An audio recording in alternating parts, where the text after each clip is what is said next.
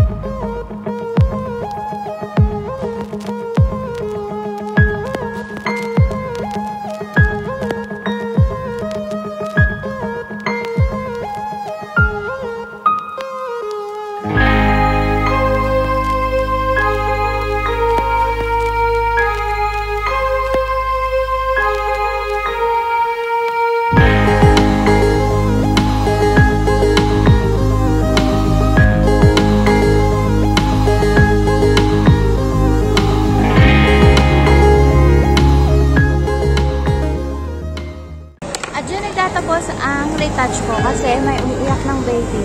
Ganyan talaga pag mami. Walang panahon mag-makeup. Konti lang. Bye!